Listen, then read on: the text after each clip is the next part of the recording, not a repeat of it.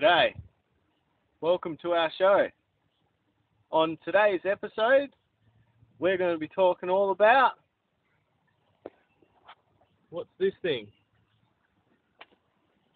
It's a door. We're going to be looking all about doors and talking about doors around Australia on today's show. So let's go have a look at them.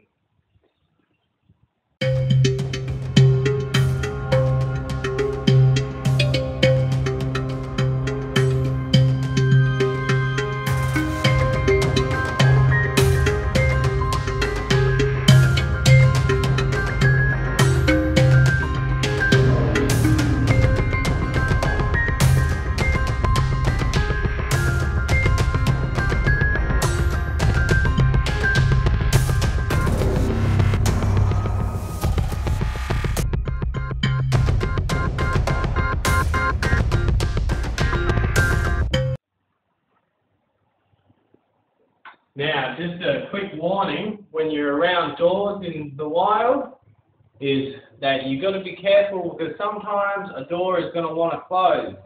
And if you're standing in his mouth, then you could get hurt. Now, I'm risking my life right now standing in this, in this door's mouth. So I'm going to step out, and- but I'll give you an example of what could happen if you put your hand in his mouth. So I my, I put my hand in his mouth here. I've got my hand in his mouth.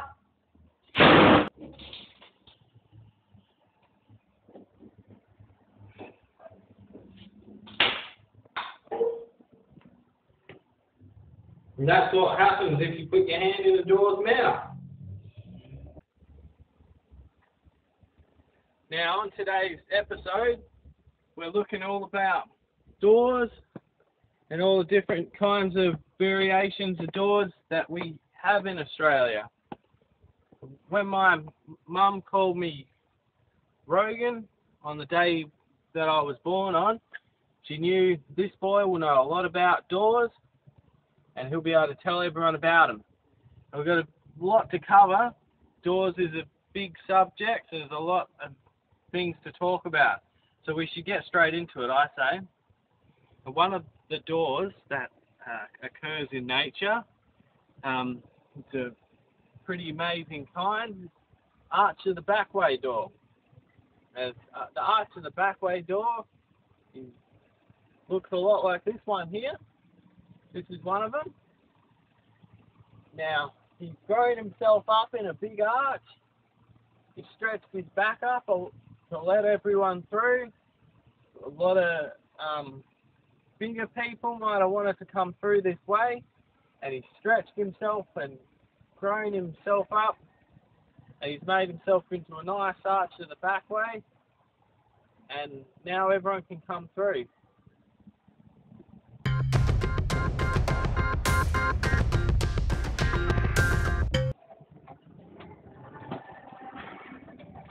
That's marvellous, isn't it?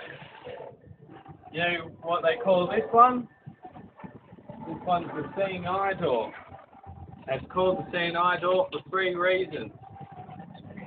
One reason is because it's got a seeing eye and it can look at you and tell you when to go through it. Another reason is because you can see through it. When you look through it and you look with your seeing eye, you can see straight out to the outside. And the other reason is because it's a door. So definitely be very grateful for these seeing eye doors. They help us to come in and out sometimes when you can't, you know, open the door.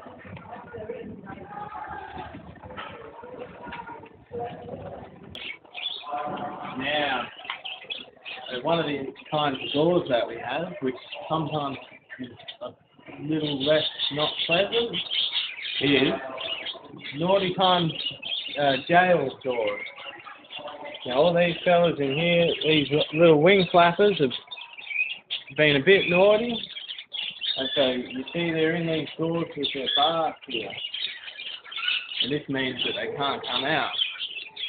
Sometimes even some four-legged, like what we've got down here, see these little four-legged there, they're having a nice little nap, but they've been a bit naughty, and so they're in the jail door. Very good.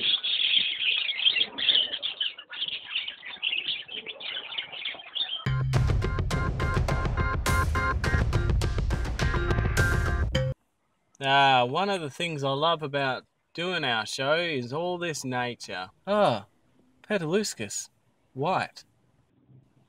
Put that flower there. Look at the sky. Need a drink of beer. Mmm. Ah, another flower. Keep this one here in my pocket. Ah, look. Now, what we've got here is we're, something that we're very lucky to have found because this kind of door is sometimes very hard to find in nature. And what this one is, is a grass door. And when an animal wants to live in its house in the nature, it'll make itself a door, a grass door. It makes it out of grass, and uh, then it has a door on its house. So let's give a knock and see if who's at home.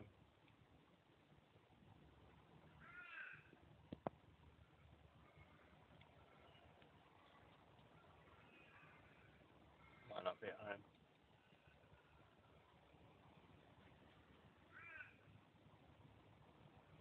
Uh, it looks like he's not at home. But that's you. That's a grass door, and yeah.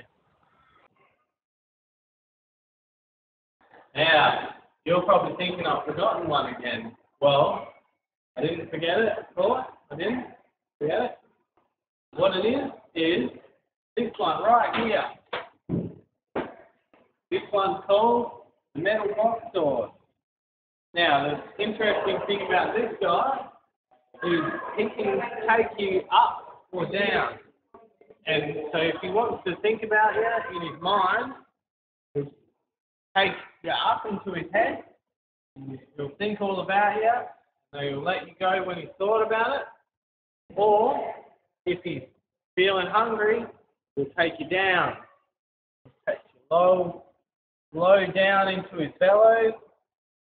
And I've never been down in one, so I don't really know what will happen to you.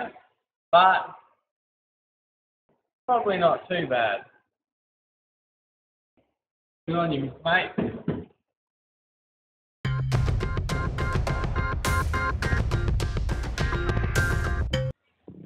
Now, one of the most important things for you to know about doors is where do all the doors come from and how did we get them and where do they where do they start off? Well, I can tell you all about it right now where doors come from is right here. This thing. Now this thing turns at an alarming rate when it's thirsty. And one of the byproducts of it being so thirsty and turning, because it's trying to pull you in a drink, is a door will pop out about every five or ten minutes. And it's just popped out a door a minute ago and someone came and grabbed it for their shed. So we don't have to worry about one popping out right now. But any second now, one will just pop right out of there. So keep up the good work, door maker. Now another door that I've been looking for and I've found right here as well is this kind right here. If I'm not mistaken, this door is called a pull door.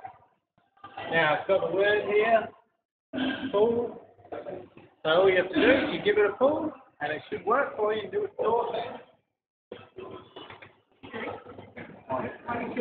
This one's a Amaway door. Maybe it's a self-opening door. It's